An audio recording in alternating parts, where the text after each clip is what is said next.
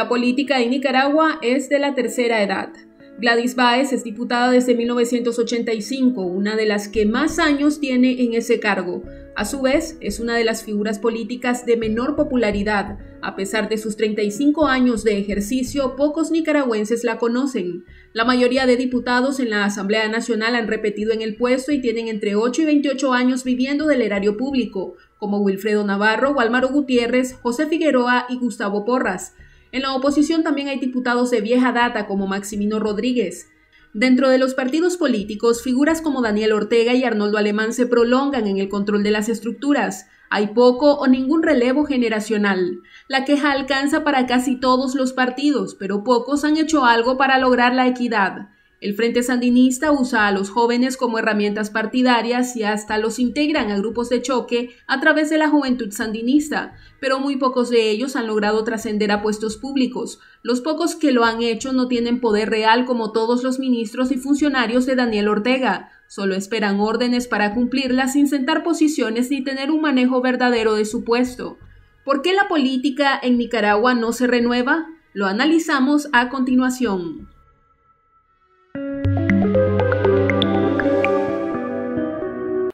Está con nosotros Lucía Pineda Ubau, periodista que ha visto pasar a la misma generación de políticos por décadas. Así que agradecemos que Lucía nos acompañe el día de hoy para hablar sobre este tema tan importante. Bienvenida Lucía, qué bueno verte de nuevo. Gracias Jennifer, gracias a todos. Lucía, como mencionaba, básicamente vos has visto a todos estos políticos que prácticamente son los mismos, yo creo que desde que vos iniciaste la carrera. Los que han salido es porque han muerto, no es porque lo hayan planificado. ¿Estoy en lo cierto o, vos tenés otra percepción de, de este relevo generacional que para muchos es utópico, es un sueño en Nicaragua? Bueno, tal vez hubo relevo generacional cuando se dio el tema de la revolución sandinista, pero ya hay quienes llegaron a relevar, no se quisieron ir y siguen ahí en esos escaños. Pues recientemente yo miré una investigación que hizo la Lupa Press de, de Marjorie, donde especifican que habían de, por ejemplo, de 91 diputados, 48 prácticamente han repetido los escaños, son prácticamente los mismos y han permanecido en esos cargos entre 8 o 28 años, ya, o sea, 28 años eh, dentro de un eh, puesto de elección popular. Entonces no ha habido tal vez como mucha movilidad. Es cierto de que se ha dado cuota a los jóvenes, pero, eh, pero lo que se observa es que llegan jóvenes y envejecen en esos cargos. Y entonces vos no ves como ese sistema de rotación que lo podés ver y observar en otros países, pues como en Costa Rica, no pueden repetir. Entonces sería sano de alguna manera para ver ese sistema de que rota los rostros, eh, incluso hasta las edades, porque no es de decir de que como estás viejo no puedes estar en un cargo de elección popular. Sí puedes estar, pero también que tiene que haber de alguna manera pues un balance, un equilibrio y un sistema realmente democrático. Lucía, algo muy curioso eh, leía una vez en las redes sociales y era un joven millennial, ¿no? Los millennials nacidos en 1984, 85, y ellos expresaban de que básicamente su vida ha girado en torno a Daniel Ortega en lo que a política se refiere. Ellos nacieron y Daniel Ortega estaba en el poder, eh, luego fueron a la secundaria, a la universidad y ahora en su vida adulta Daniel Ortega sigue en el poder. Eh, Daniel Ortega es como una figura casi que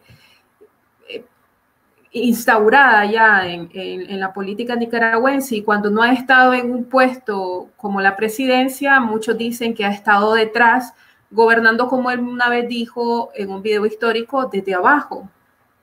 Sí, entonces ahí lo ves, el, ejemplo de lo que tal vez eh, no se debe aspirar en política o algo que no es democrático, es el mismo Frente Sandinista, donde solo hay un líder y ese líder, ahora pues acompañado de, doña Rosario, que es la que maneja todos los hilos del poder, eh, nadie más puede eh, asumir pues ese cargo de secretario general, por ejemplo, del partido político, se quedó totalmente pues eternizado en el poder.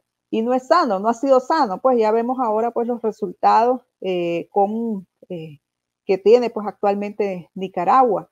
Eh, un partido que se cree que hasta uno de sus hijos dije que Nicaragua debe tener partido único, o sea, solo ellos de alguna manera, pues caemos en esta situación en la que estamos.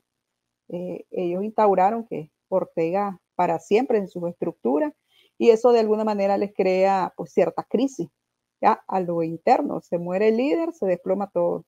Lucía, eh, ¿cómo miras vos la posibilidad de relevo generacional en estas nuevas organizaciones o movimientos eh, de oposición que han surgido a raíz de la crisis de abril del 2018? Porque si bien es cierto, inició con un fuerte protagonismo juvenil, lo que ha sucedido, según muchos críticos, es que cada vez menos jóvenes son más visibles y que cada vez estos espacios parecen estar representados por los rostros de siempre. Sí, yo creo que eh, precisamente como te decía Jennifer, tiene que haber un balance, incluso pues un, acuerdo de, integración, pero es de alguna manera pues sincerarse, pues qué es lo que quieren todos, ¿verdad? Porque no solo los jóvenes, porque también se le, se le, se le exige mucho a los jóvenes, es entre todos, ya qué queremos, realmente queremos pues la Nicaragua libre. Entonces, sentémonos, unámonos y sin ningún tipo de, eh, de pero, porque a la hora de que se sientan ya comienza uno, pero, pero, pero, y eh, me llamaba la atención un comentario que hizo en una entrevista al joven eh, Fernando Sánchez, pues que él incluso cuestionaba a sus mismos compañeros, ex compañeros de movimiento, eh, que decía de que a veces siente él que eh, son jóvenes pero con las mañas de los viejos. Entonces es algo que en Nicaragua ha sido, eh, ha estado marcado. Entonces tenés que construir como una nueva cultura política porque los jóvenes que están hoy también han heredado, ¿verdad? Esa cultura que nos ha marcado pues a todos los nicaragüenses. Entonces ha sido como un ciclo. Entonces, es cambiarse como el, el cassette. Entonces, ¿cómo construirlo eso? Pues muchos insisten que es desde el sistema pues, educativo de Nicaragua. No ver pues a una persona, eh, este es el hombre, este es el men, el tema de los, eh, de, de, verlos pues que el gran líder y que, y que lo que él diga, eh, e, ese tipo de endiosamiento, ¿verdad? De figuras políticas que le han eh, hecho mucho daño pues al país. ¿Crees que los jóvenes eh, realmente se están comprometiendo con una nueva cultura política, como decís? Eh, me parece muy importante este punto que mencionabas, porque ciertamente esto pudo haber pasado también con Daniel Ortega, un joven que vino de la nada y de pronto ver que tiene tanta popularidad y que puede usar esa popularidad y ese poder para su propio beneficio. Entonces, el tema de la formación para, para mí en este punto me parece súper importante porque eso va a permitir que un joven expuesto a todo esto de la política pueda responder de mejor manera a las expectativas que se puedan generar sobre él si es una figura pública, ¿no? Sí, yo creo que es un trabajo y es una tarea, no es un cambio, eh, no lo vas a ver así como de la noche a la mañana, primero tiene que comenzar de uno. Eh, en tu familia, en tu escuela, en también buscar eh, cómo eh, hacer ese tipo de capacitaciones. Y a esto voy a lo que muchos llaman el espíritu de abril. Ya, yo pues veo el espíritu de abril como aquello en que la gente salió y no se anduvieron preguntando eh, de qué ideología sos, de qué clase sos, ¿verdad? De qué color sos, de qué barrio sos, Simplemente mirabas el mar de gente que iba y se ponían felices porque había mucha gente en las movilizaciones. Estamos unidos, decía la gente. Lo cierto es que también está el tema de, las mujeres, ¿no? Además del relevo generacional, que entre esos nuevos rostros vayan mujeres. Es un reto. Ahora mismo eh, hubo una encuesta reciente de Sid Gallup y apenas aparece Violeta Granera como, como una mujer que podría funcionar como presidenciable, según lo dice la encuesta. Sin embargo, Violeta Granera también hay que reconocer que pertenece a la generación anterior. No, no, no, no podríamos hablar de un relevo generacional en este caso. ¿Cómo las mujeres pueden ganarse estos espacios públicos, Lucía? Yo creo que es que a veces si vos lo medís por encuesta, tal vez yo, yo, yo, le, yo escuché lo de la encuesta y mencionaban que ellos presentaron una lista. Si el encuestador no te presenta más que solo doña Violeta u otras personas, entonces la gente solo tiene esa lista, ¿ya? Yo he visto otras encuestas donde sí salen pues eh, otras, otras figuras, otras mujeres, incluso carceladas políticas, Amaya Coppens, eh, Sally Irlanda en otras encuestas, eh, pues la propia eh, Cristiana Chamorro, ¿verdad? Que es de, pues, hija de, de la expresidenta Chamorro. ¿Vos, Lucía, te verías en un cargo público? ¿O es algo que no querés explorar? Fíjate que no, no me veo, sinceramente. Yo me veo en el canal 100% Noticias, incluso me llamaba la atención una vez cuando estaba en el chipote un, un policía que me llegaba a dejar la comida y me dice, Lucía, me dice, cuando estés en el gobierno, me eh, ¿te acordás de mí? Entonces le digo, mire oficial, le digo, le voy a ser sincera. Cuando yo salga de aquí, yo voy a estar en 100% noticia. Ahí lo voy a esperar con mi tacita de café y yo lo voy a invitar, si quieren, paso, porque usted se ha portado muy amable conmigo. Pero yo no me veo ahí, pues hay gente que sí me ve.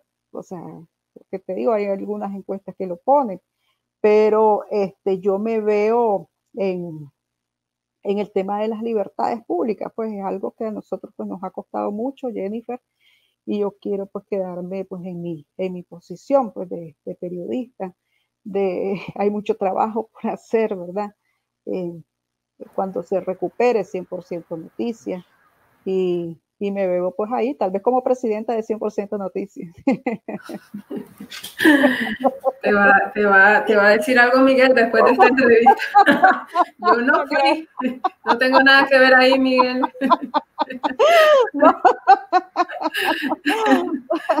No, pero este, te lo digo así con sinceridad porque hay mucha gente me, me, me dice, pero yo me quedo asustado y digo, la cual yo estoy bien, pues yo recibo con cariño, ¿verdad? Sus deseos, pero hay mucho trabajo que hacer por, por la prensa, pues en Nicaragua, por las libertades, y, y, ahí vamos a estar, eso es lo que yo aspiro, sinceramente. Eh, y todo, todo está en consulta con Dios también, ¿ya? Porque eso es lo que yo no quería estar presa. O sea, yo no busqué cómo estar presa. Como te digo, hay tantas cosas que han ocurrido en mi vida que nunca pensé que iban a ocurrir. Ya, o sea, yo no pensaba que iba a vivir un buen tiempo acá en Costa Rica con mi familia. Todavía vivía allá en Nicaragua. Yo no pensé que me iban a dar galardones, que iba a estar reunida, pues, o iba a hablar, pues, en foros internacionales. Sinceramente no pensé tanto. Y entonces yo digo que todo eso es para la gloria de Dios. O sea, eh, y yo, pues, le pido, pues, que me dé, que me dé inteligencia y sabiduría, pues, para eh, guiarme en la vida, porque yo le digo, Dios, ya no, no sé qué más espero. Entonces, ¿qué te digo? Hoy estoy aquí, mañana cuidado estoy en Nicaragua. todo, es, dejemos que, que siga, ¿verdad? Todo su curso. Gracias de verdad, Lucía. Gracias por tu entrevista y gracias por tu tiempo. Estamos ahí siempre, ¿verdad? Informando.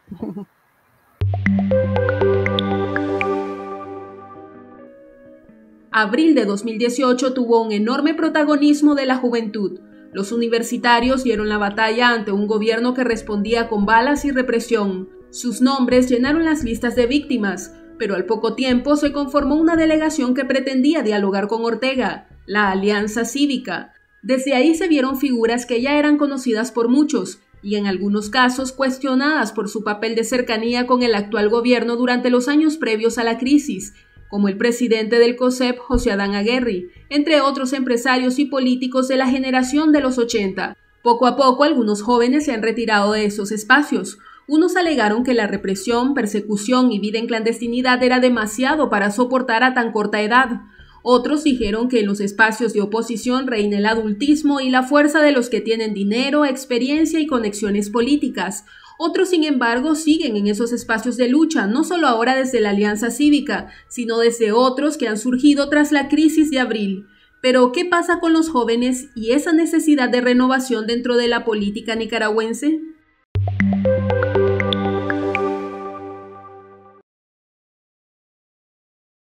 Para conversar sobre este tema estamos con Madeline Caracas, una joven activista que también tuvo un papel activo durante el diálogo nacional en el año 2018. Se encuentra exiliada y nos va a comentar un poco y hacer sus aportes sobre el tema que estamos abordando el día de hoy. Madeline, gracias por acompañarnos. Bienvenida. Gracias Jennifer por invitarme a este espacio. Como te decía, Voces de Mujer me parece un espacio fundamental dentro de la agenda de los medios de comunicación para visibilizar los aportes que estamos haciendo las mujeres desde las distintas áreas de la sociedad en Nicaragua. Así es, Madeline. Nos parece importantísimo escuchar las voces de las mujeres en diversos temas y precisamente por eso te estamos consultando. ¿Vos crees que es posible el relevo generacional? Tenemos años, décadas, viendo los mismos rostros en la Asamblea Nacional, en los ministerios y entidades del Estado. Desde tu visión de joven, ¿cómo lo manejas? ¿Qué perspectivas tenés? En Nicaragua, eh, la cultura política ha estado permeada por el machismo, el verticalismo y evidentemente el adultocentrismo que reina y prima dentro de los espacios eh, político, y no solo los espacios políticos que son em, partidarios, sino los espacios políticos que conllevan la lucha cívica, espacios cívicos de lucha, activismos, movimientos sociales y demás. Yo creo que es fundamental eh, entender de que los jóvenes no hemos crecido con una figura joven, tampoco en un rol o un liderazgo en el país. Ortega tenía, cuando Ortega llegó, al poder, yo tenía ocho años y ha sido la misma cara que he visto crecer hasta ahora. Em, entonces yo creo que los roles se fueron viendo aún más a partir de eh, abril 2018. Yo creo que es posible, yo creo que el romper con ese estigma de la juventud eh, idiotizada en redes sociales y no una juventud crítica, activa en las calles, eh, y tratando de hacer las cosas desde otro punto de vista, no desde la manera tradicional, eh, ya ha quedado en la imagen de la población y en nosotros, en quien confiaron en 2018 y el por qué la gente se unió a nosotros. Sí creo que es posible, pero también creo que los jóvenes nos hace falta tomar aún más estos espacios, eh, ser aún más este, visible y, y demandar en estos espacios de la oposición, alianza cívica, coalición, eh, articulación de movimientos sociales, eh, una representación clara con voz y voto, no solo ser eh, un comodín más para llenar una expectativa a, a nivel pues, de una imagen pública. Qué bueno, Madeline, que menciona este tema de que aún en estos espacios que nacieron a raíz de la crisis de abril, todavía este problema ¿no? del relevo generacional y de darle voz a los jóvenes sigue existiendo porque si bien es cierto, se reconoció a partir de 2018 el protagonismo de los jóvenes, la valentía de haber enfrentado a un gobierno que estuvo dispuesto a hacer lo que hizo a nivel de utilizar paramilitares y fuerzas policiales en contra de los manifestantes, también lo que se dice es que pronto estos jóvenes eh, fueron acaparados por adultos que pertenecían a, diversos sectores sociales y que de esta manera fueron opacándose o diluyendo el sentido original de las protestas que estaban muy, eh, muy enfocada en la juventud precisamente. ¿Vos sentís que esto es lo que realmente pasó? ¿Es una percepción que se tiene desde afuera sin conocer el contexto interno de las organizaciones? Sí, bueno, realmente el escenario es diverso, el escenario es mucho más complejo que decir los jóvenes están relegados y hay un grupo que tiene el control de la opinión, porque es también volver a caer de que los jóvenes somos títeres de y no hay una conciencia ni no hay, no hay una conciencia del ser, ni no hay una conciencia de, de, de, estar en un espacio y encontrarte en una sociedad como la de Nicaragua. Eh, el escenario sigue siendo confuso, si bien algunos jóvenes optaron por una línea política distinta y, fueron totalmente sumergidos y succionados por un poder tan grande, qué sé yo, desde el gran capital o desde otras estructuras viejas políticas que ya estaban, es importante no, eh, no romper, ¿verdad? No acusar simplemente a, a jóvenes de ser manipulados y sí más bien reconocer la estructura que están por encima de todo eso y las estructuras que de alguna manera eh, nos cierran las puertas y nos quieren encasillar hacia un horizonte político. O sea, la instrumentalización de la juventud ha existido desde siempre. Y creo que en Nicaragua los jóvenes, incluso desde la revolución, hemos sido carne de cañón en frente de toda insurrección.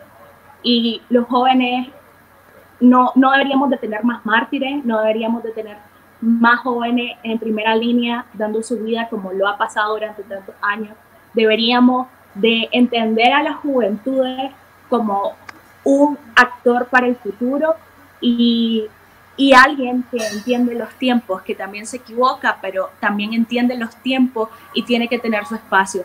Pero dentro de un escenario con tantos intereses, es natural que la juventud de alguna u otra manera quede absorbida.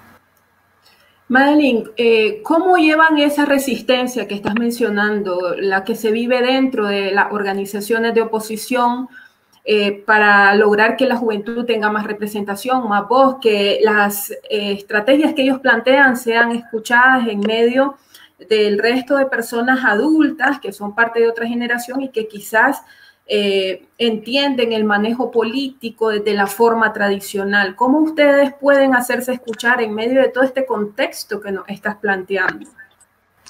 Yo creo que eh, la primera instancia es la unidad y la organización dentro de los grupos. O sea, la representación a nivel personal y a nivel de cara y personajes, las narrativas que siempre se construyen cuando salen voces jóvenes y todos los medios las giran en torno a una figura para hacer la cara política y la voz de esto, eh, también es parte del problema. Yo creo que la resistencia también está entenderlo a uno como todos y todos como uno. Entonces yo creo que eh, organización ha sido fundamental, el, la incidencia, el tomarse los espacios, el no tener miedo de, de tomar un espacio y creerte capaz de, Em, porque siempre nos dijeron que no íbamos a poder nada y que no sabemos nada porque somos jóvenes.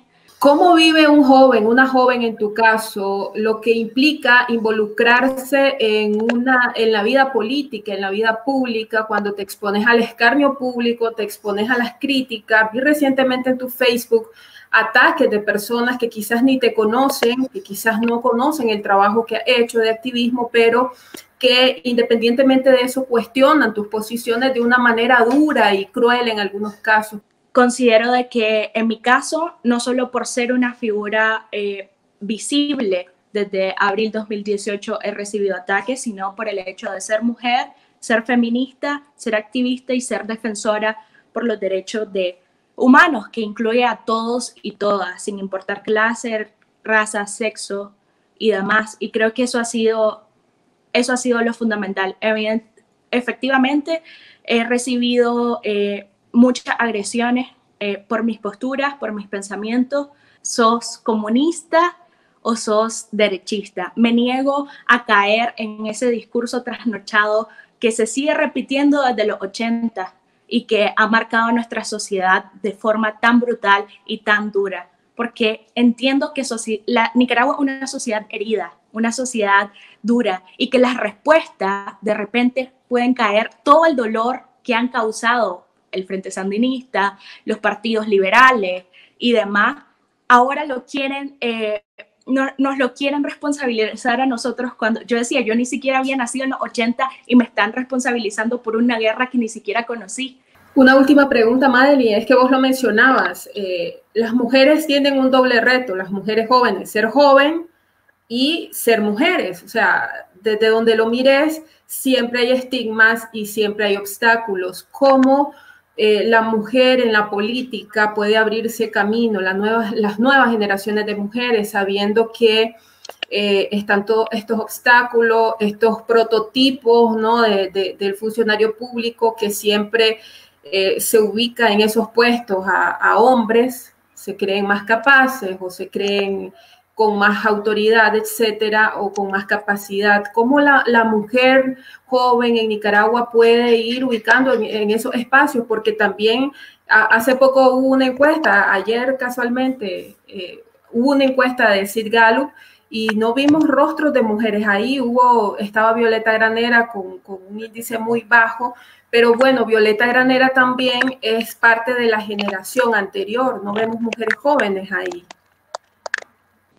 Yo creo que eh, sería una pena que, que sigamos, o sigamos viendo de que tantas mujeres, y no hablo de las que salimos en la televisión, no hablo a las quienes nos pusieron los micrófonos, yo hablo de las mujeres que día a día dentro de los espacios organizados esas que son anónimas, están trabajando y haciendo posible todo lo que se mueve, desde los comunicados, pronunciamientos, desde la defensa, desde la protección y es la mayoría. Yo me encuentro que en los espacios que yo pertenezco y desde el inicio, la mayoría somos mujeres y quienes mueven y que la mayoría están decidiendo, eh, proponiendo, impulsando, la mayoría son mujeres y no se ha reconocido porque al final nosotras escribimos los informes y ellos los leen en las cámaras de televisión.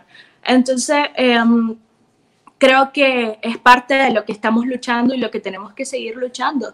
Y también los medios, cómo, cómo represento la, esa diversidad, cómo represento a otra. O sea, la responsabilidad cae eh, en la sociedad misma y, y en todo. Yo, yo realmente quiero decir de que yo me he sentido más violentada, atacada y discriminada por la oposición que por el mismo Estado que me ha amenazado asesinar eh, perseguir, encarcelar. Eh, he recibido los mismos ataques violentos, sexistas y deshumanizantes hacia mí eh, por ser mujer y por ser feminista. Y eso siempre lo voy a decir y lo voy a denunciar porque me niego a creer en una oposición limpia y sin mancha. Qué fuerte tu denuncia, Madeline, y de verdad que realmente todo es el reflejo de la sociedad. Los problemas que estamos viviendo a nivel de género, a nivel de relevo generacional, son estructurales, no se van a cambiar de un día para otro, lamentablemente. Así que muchísimas gracias por tu testimonio, todo lo que nos has contado, y de verdad te este, agradecemos que nos hayas acompañado el día de hoy en el programa. Gracias Jennifer. Un saludo a toda Nicaragua y a todas esas mujeres y niñas que quieren verse en un futuro, en un espacio político. Tómense todos los espacios que sean porque son suyos. Muchas gracias.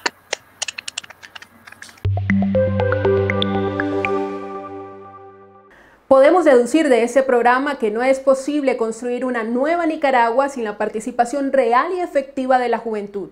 Sin embargo, esa juventud enfrenta el enorme reto de no dejarse contaminar por las prácticas corruptas y mezquinas de la política tradicional nicaragüense que nos ha enrumbado por un ciclo repetitivo de nuestra trágica historia. Gracias por habernos acompañado en este espacio Voces de Mujer. Recuerde que usted puede comentar y compartir este contenido para que más personas estén informadas. Los esperamos el próximo lunes.